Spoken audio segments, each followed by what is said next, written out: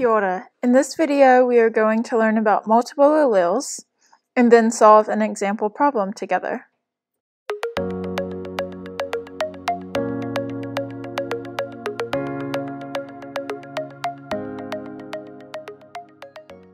Multiple alleles are three or more alternate forms of a gene that can occupy the same locus. Remember, a locus is a specific fixed position on a chromosome where a particular gene is located. Even though there are three or more alleles for a certain gene, an individual will still have only two alleles in its genotype.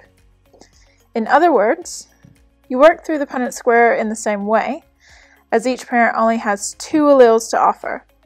The difference is, there are more possible genotypes for a certain phenotype. To show you this, we will look at rabbit coat color. For rabbit coat color, four possible alleles exist. Capital C, lowercase c ch, lowercase ch, and lowercase c. So instead of the two alleles that you're used to, there are four. There are five possible phenotypes for rabbit coat color. They are dark gray, chinchilla, light gray, Himalayan, and albino. Dark gray rabbits have a very dark coat.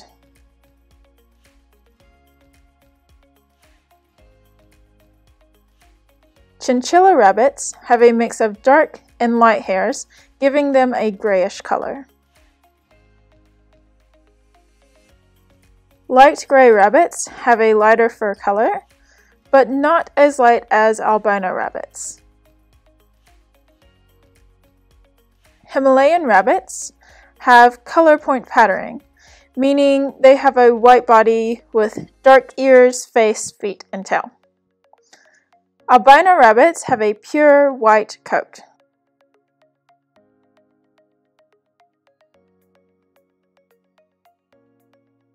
The dominance hierarchy is as follows. Dark gray is dominant over all others.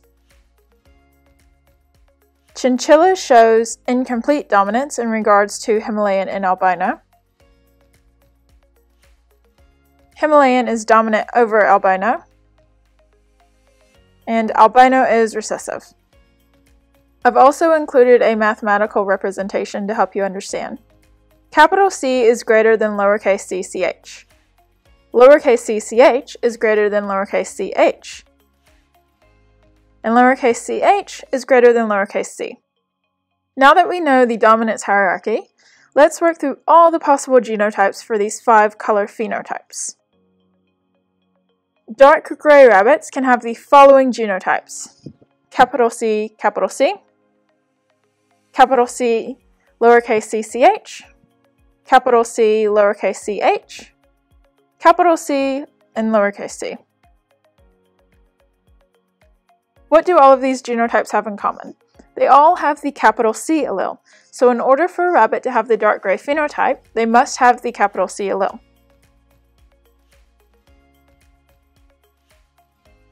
Chinchilla rabbits have the genotype lowercase cch, lowercase cch. In order to produce a chinchilla rabbit, there has to be two of the lowercase cch alleles. You also need to remember the chinchilla coat color shows incomplete dominance in regards to Himalayan and albino rabbits. This means when you cross a chinchilla rabbit with a Himalayan rabbit, you get the light gray phenotype. And if you cross a chinchilla rabbit with an albino rabbit, you also get the light gray phenotype. Using that information, we know that light gray rabbits have the following genotypes. Lowercase cch, lowercase ch, and lowercase cch, lowercase c. Notice that there has to be one lowercase cch and either a lowercase ch or lowercase c in order to get this phenotype. Next, Himalayan rabbits can have the following possible genotypes. Lowercase ch, lowercase ch, lowercase ch, lowercase c. Remember, the albino rabbit is recessive, so there is only one possible genotype for it. Lowercase c, lowercase c. Now that we have an understanding of multiple alleles, and specifically multiple alleles in relation to rabbit color, we can solve an example problem.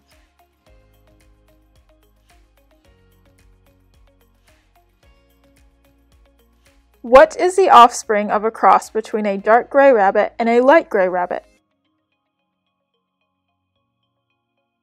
The dark gray rabbit's genotype is capital C, lowercase cch, and the light gray rabbit's genotype is lowercase cch, lowercase ch. Complete the cross and determine the genotypic and phenotypic ratios. Pause the video now to work out the problem. Our first parent is a dark gray rabbit with the genotype capital C, lowercase cch. Our second parent is a light gray rabbit with a genotype lowercase cch, lowercase ch. Now that we have the Punnett square set up, we just plug in the answers. Looking at our completed Punnett square, we can see that the genotypic ratio is 1 to 1 to 1 to 1, because there is one capital C lowercase cch rabbit one capital C lowercase c h rabbit, one lowercase cch lowercase cch rabbit, and one lowercase cch lowercase ch rabbit. All four of these genotypes are different. Our completed Punnett square also tells us that our phenotypic ratio is 2 to 1 to 1. There are two dark gray rabbits because two of the genotypes have a capital C allele. There is one chinchilla rabbit because one of the genotypes is lowercase cch, lowercase cch, and that is the only allele combination that creates a chinchilla rabbit. And lastly, there is one light gray rabbit because one of the genotypes is lowercase cch, lowercase ch.